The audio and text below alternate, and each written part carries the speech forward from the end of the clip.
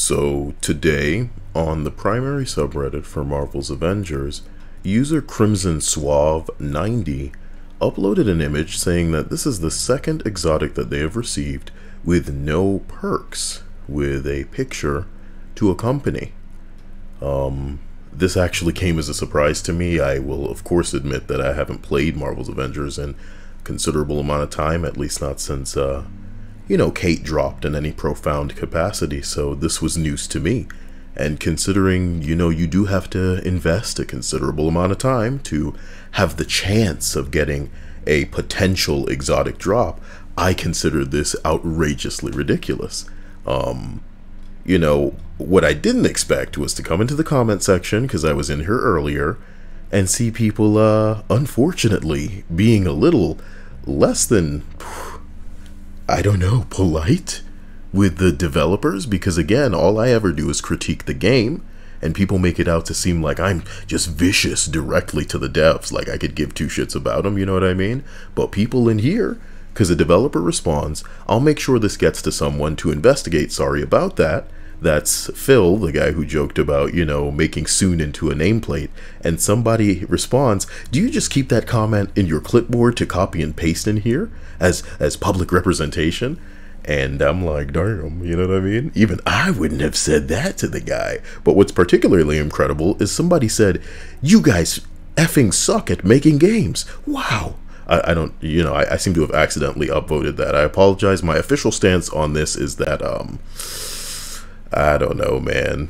You know, don't don't run the developers off. Yes, the game shouldn't be in this state 4 months after it launched, but at least he even said that they're going to have somebody looking into it, you know what I mean? Everybody is getting a little bit uh fed up. There is no news. Um, the other YouTubers are going to only, you know, blow smoke up the ass of this video game and pretend that everything's fine and that nothing is plaguing the game and, and that it was just a bumpy launch, you know what I mean? But at the same time, I I can't get enough of these comments because it's becoming clear that a place that used to be a haven for people just blocking anybody who disagreed and like yeah, uh, earlier today somebody posted a meme. You know memes aren't allowed here. So of course the the the, the post was locked. This is a no fun zone on the official Avengers subreddit, by the way. The only sub that, for some re- reason, hides everybody's votes, you know, hiding the score. It just, it's a real, just upside down world over here. So I'm, you know, if you don't go here, I'm doing it for you. But somebody posted a meme and it said, What's rarer, winning the lottery, getting struck by lightning, a shopping cart with all, all wheels being good, or getting a fabrication pattern from a DNA chest. And uh, I think that's funny because of how slim the chance of you getting a fabrication pattern is. And again, remember that's their whole monetization thing is they want you to buy or purchase, you know, certain skins, so they're not going to be handing out um, free patterns. I remember when the game first came out, there was a way for us to, let's say, keep running the same mission and receiving patterns as a reward. They patched that out the game real fast, buddy. I'm trucking really fast. In the comments, you'll see people saying things like, uh, well, here are my comments. Somebody said, getting another player in matchmaking, like that's even more rare. And I responded, getting new villains. Got him. Got him, baby look at this look at this dude. You know what i mean? People people people complain on my comments so much like i'm so tired of you whining. Like bro okay. Like it's my fault. Like i made them put two villains in the game. But um, people in the comments are saying how rare it is for them to ever get patterns in DNHS, and it's just because of RNG. I was telling them how when the game, you know, was younger, how one of the one of the things they were very fast to patch out was the Hulkbuster armor. Um, being able to open DNA key uh, chests without depleting any of the keys. Um, so to again phrase that better, if you jumped into the Hulkbuster armor as Iron Man and opened up the DNA chest, it would not take any of your keys. So as long as you had one key, you would always be able to open up the chests and you know loot, and then be able to just jump back to the Quinjet, come back down, and do it all over again. And the reason that a lot of people didn't really care about abusing this exploit was because there were glitches going around that were making it um that were that were taking away all of your keys. Like say you had 40 keys and you just died um, on the way to a vault or something, it would take all of your keys. This isn't something that they addressed. This isn't something that they dealt with or spoke about. You know what I mean? They just come in with their, oh, here's a little bit of polychloron and some Uru, and I hope that makes it all better. And that's the kind of thing that's making people as wound up as I'm seeing enough to go, hey, you, you suck, man. But even I don't agree, you know, like I'm saying, don't attack people. Just say, hey, why is this like this? Is it gonna get better? Was it your intention to make it the way that it is? If it is your intention, that's not how I would go about it. I don't think this is gonna work. Here's me and all my, my homies that don't think it's gonna work. You know what I mean? Something like that. But, uh, yikes. But again, because I am a consumer, because I am a gamer, it's not like I don't understand. If we go over to the Marvel's Avengers page today, one day after Stan Lee's birthday, God rest him. You know what I mean? You guys are uploading things like here's how we're keeping warm in the winter. Share with us how your team looks. Bro, these aren't even holiday themed skins. Plagued once again by by trench coat friggin' widow over here. It's just hilarious, man. It's just hilarious. It wouldn't it wouldn't have killed somebody to just animate, not you know, well, to render a little a little Christmas hat and throw that on Hulk. You know, the skin is already Santa e already. Just give him a hat, something. But you couldn't do that. So yes, of course, I slid over there. You know, follow me on Twitter at Cyael to drop this um to drop this JPEG saying, hey man, four months in, exotics dropping without perks, daily still broken. How do you do it? How do they do it? All I have to say is, uh, with the way things are looking, you figure they can't get worse, you know? Uh, every every content creator touching this game right now is like, oh, this is coming in 2021. Everything's looking up, bro. And it's like, all right, I get it with your optimism, but y'all don't have nothing to talk about, and y'all trying to make a video every day. There's no news because they won't deliver any dates or give anything in the way of a roadmap. I like to follow Paul Tassi, who is a journalist for Forbes, who plays live service games. He jumps in Genshin Impact, he plays a lot of Destiny, and he is, you know, keeping an eye on this game. He dropped an article earlier today Boy, he talking about Destiny non-stop. Anyway, he was saying how Marvel's Avengers needs to change its course with one of its post Hawkeye plans. I didn't read the full article. I will leave a link in the description. You can go check it out. But what my man's I'm sure is saying is that, you know, maybe y'all shouldn't have gone with two archers first. Nobody goes, hey, who's your favorite superhero? And somebody jumps up and goes, well, I believe the man with the bow and the arrow is the best. You know what I mean? Jesus Christ, man. Jesus Christ. And he's saying, uh, you know, it's already set in stone. What can you do about it now? But I hope going forward that they, I don't know, they hang up a coat on somebody who is uh, a little bit more recognizable for the most part. I said it's already dead. Two villains on repeat for four months, broken dailies, and a live service, bad loot, and a looter. This game deserves what it got, and Paul Tassi was saying the broken daily since launch is killing me. You know what I mean? Boy, this Stardust dude has got to be the loneliest motherfucker on the internet. He comments on like everything I do. I maybe he's trying to get that Defender award for gobbling the most bing bongs. Someday I'll respond to him. Just kidding. but nah. I really expected to be able to look back at this game after all of this time and have some something interesting to look at, you know what I mean? But instead, we out here just clowning around and friggin', you know, cyberpunk. And that's the way that it goes. Sorry, I'm glad. I'm glad that that um I just realized that it was up because I was hearing background noise from inside the game, so I closed it and I saw that it splashed up on the recording. Dia, what would you say the one thing that you're interested in coming to this game might be?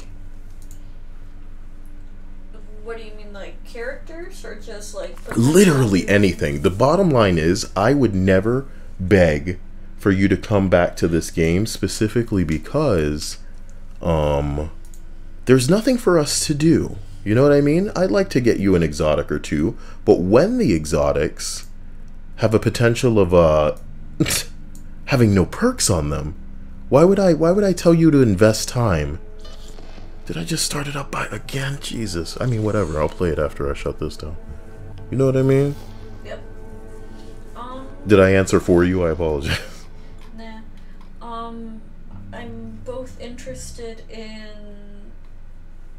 Maybe in uh, another character that I'd be interested in. I don't know which one it would have to be. Let's not even think about anything that um, you've probably heard me mention. If you just had to name three heroes or characters that you might be interested in seeing in the game, who might they be?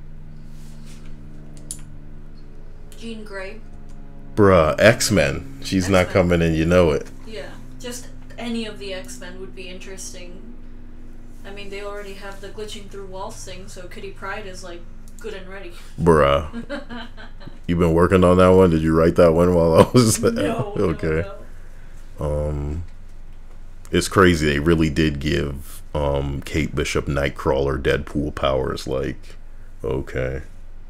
Um, and also the the thing that you've mentioned in the past, where like uh, uh, and uh, like in Destiny, where a bunch of random people can come together and like experience an event in the game. A patrol mode, okay. It would be cool because then if we have like the like a, a good amount of characters, like a good pool of characters to choose from, I think it would be very very interesting to see them all kind of play together to fight like a mini horde mode.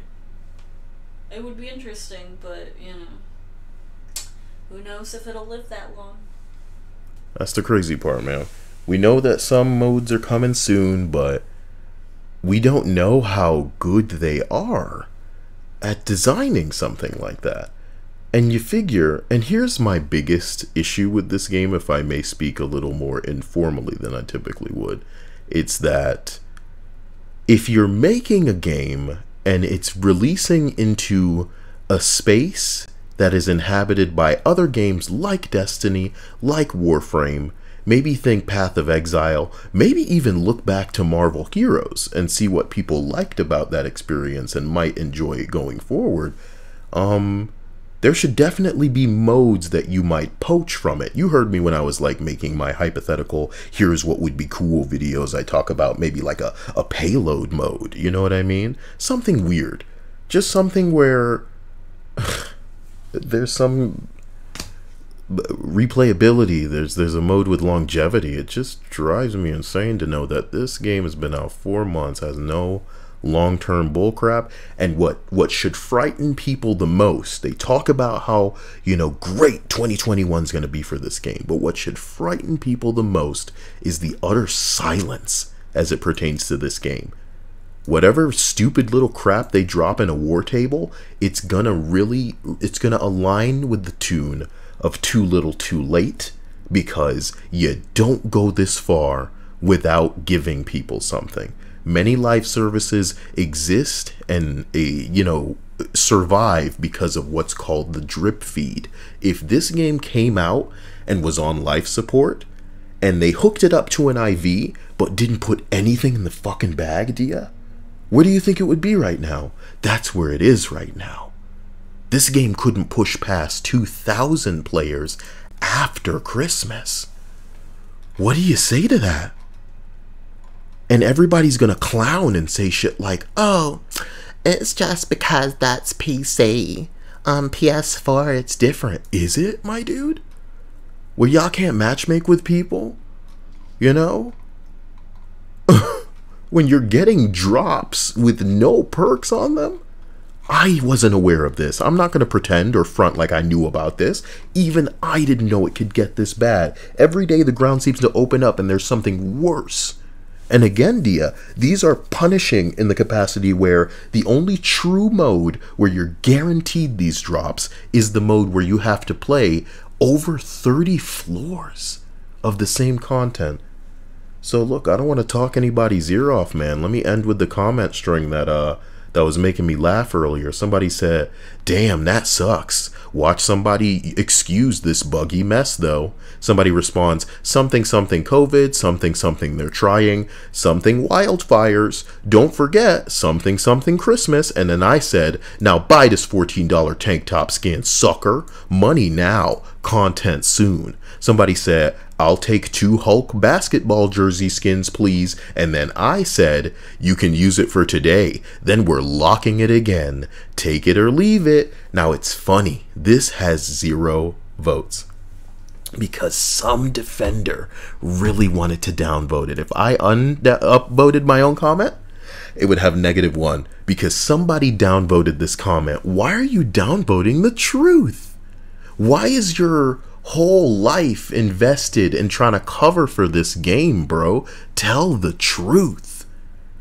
People are still out here.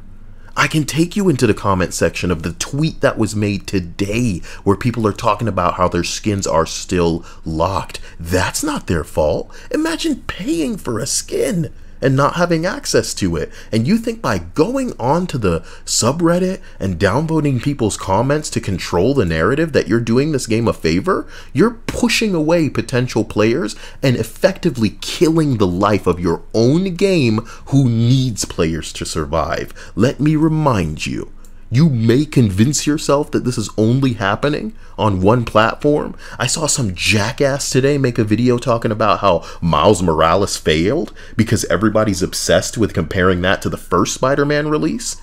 When the truth of the matter is, Dia, you know that I want to play Miles Morales, but I'm not playing it. Why? Because I don't have a PS5, and that's where I prefer to experience it. The PS5s are sold the fuck out everywhere, and you'd have to be living under a rock to not know that. You'd have to be very biased to ignore that kind of shit. And it's crazy because here's the thing if I were popular, do you get what I'm saying? Not that I want to be. I've told you there that's a double-edged sword on YouTube and you can't be real and be popular. Do you get what I'm saying?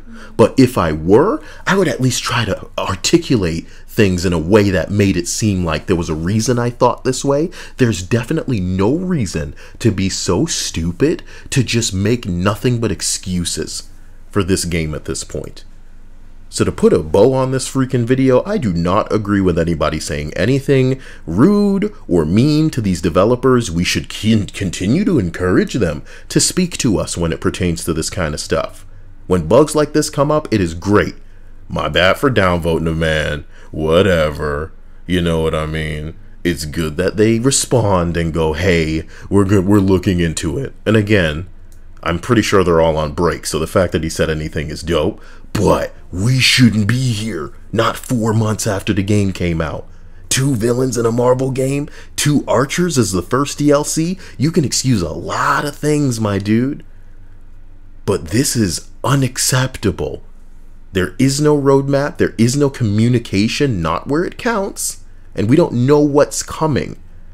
And it's crazy because, and uh, people ask me about Miller. I have no issues with Miller. As I said early in this game's life cycle, Miller is the one that's keeping the hype for this stupid ass game alive, even though he's dropping things that are subject to change. I'm not saying that there isn't a slither of truth in much of what he releases because odds are many of those things will be released in a capacity that is not altered or modified too dramatically. But I also do view him as somebody that is holding that information hostage because if you look at a community like Fortnite, hell, if you look at games like Animal Crossing New Horizons, there's so many leakers. One of my favorite leakers for Fortnite is Hypex, my dude. Hypex has over a million followers because that's how that's how insane the Fortnite following is.